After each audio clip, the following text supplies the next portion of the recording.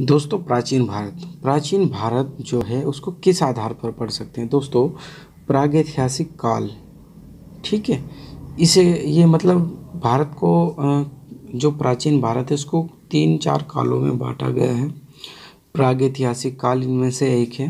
दोस्तों, इस काल का कोई लिखित साध्य, साधन उपलब्ध नहीं है। कोई साक्ष्य नहीं मिलता।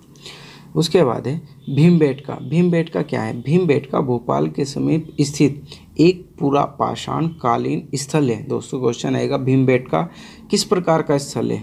ठीक है, या किस काल में पाया गया है? दोस्तों, ये पूरा पाषाण काल में पाया गया है, ठीक है?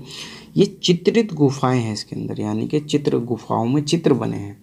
फिर आता है आदमगढ़, ठीक है? आदमगढ़ कहाँ स्थित है? मध्य प्रदेश में। बागौर कहाँ स्थित है? राजस्थान में। तो पूछेगा कि आदमगढ़ जो है और वो बागोर जो है, वो किस समय काल का साक्ष्य है। दोस्तों, वो है मध्य पाषाणिक काल का। ठीक है मध्य पाषाणिक स्थल बोला जाता है इनको। और दोस्तों, यहाँ पे पशुपालन के प्राचीन साक्ष्य मिले कहाँ पे मिले क्वेश्चन आएगा, सबसे पहले पशुपालन के प्राचीनतम साक्ष्य कहाँ मिले हैं? तो दोस्तों, ये मिले हैं आदमगढ़, मध्य प्रदेश और बागो, राजस्थान में। अगला है दोस्तों, बुर्जहोम एवं गुफर खाल दोस्तों बुर्ज होम और गुफर खाल जो है, ये कश्मीरी नवपाषाणिक स्थल है। यानी कि ये कश्मीर में पाया गया है दोस्तों बुर्जहोम और ये क्या है? ये नवपाषाण काल में, काल के समय का साक्ष्य है दोस्तों, ठीक है? यहाँ क्या हुआ दोस्तों, यहाँ पे गर्तावास मिले, गड्ढे मिले, वह कुत्ते के दफनाने जाने के साक्ष्य हैं दोस्तों।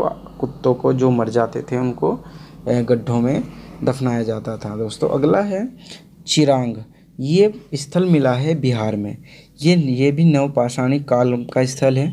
यहाँ पे प्रचुर मात्रा में हड्डी के उपकरण मिले हैं। दोस्तों, हड्डी जो मानव हड्डी होती थी या जानवरों की हड्डी होती थी, उनके उपकरण मिले। अगला है दोस्तों पिकली हाल ये कर्नाटक में स्थित है। पिकली हाल क्वेश्चन आएगा। पिकली हाल कहाँ स्थित है? कर्नाटक में स्थित है। ये नवपाषाणिक काल का स्थल है। ठीक है दोस्तों, यहाँ पे राख के ढेर मिले हैं। यहाँ पे क्या मिला है? राख के ढेर। उसके बाद है दोस्तों हमारा मेहरगढ़। मेहरगढ़ जो आया है, मेहरगढ़ कहाँ स्थित है? बलूचिस्तान में स्थित है। ये नवपाषाणिक काल स्थल है, ठीक है? यहाँ पे कृषि व कच्चे घरों के साक्ष्य प्राप्त हुए हैं। दोस्तों क्वेश्चन आएगा, कृषि व कच्चे घरों के साक्ष्य सर्वप्रथम कहाँ प्राप्त हुए? ये मिले हैं दोस्तों मेहरगढ़ में बलूचिस्तान स्थित नवपाषाणिक काल का जो साक्ष्य है।